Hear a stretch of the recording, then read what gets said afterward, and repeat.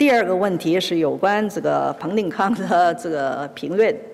当然，每个人人都有他这个发表言论的这个这个自由，但是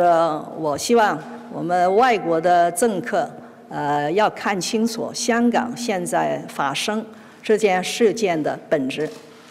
我们是受到前所未有的啊暴力的冲突的攻击。我在这里也不需要这个重新再讲。在在过去四个月，尤其是在最近的一两个月，香港发生的事情，我相信没人没有外国的政府看到香港的现状，会觉得我们还是和平的示威，还是自由的发表意见。我相信没人要是他真正客观去看香港的情况，那不可能认为我们面对的只是一个和平。合法的示威，一个言论表达自由的问题，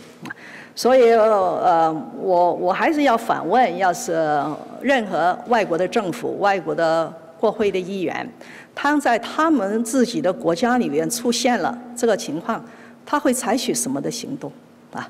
我相信不会比我们采取的行动要轻微啊，可能还比较严重。我希望他们也有一个同理心。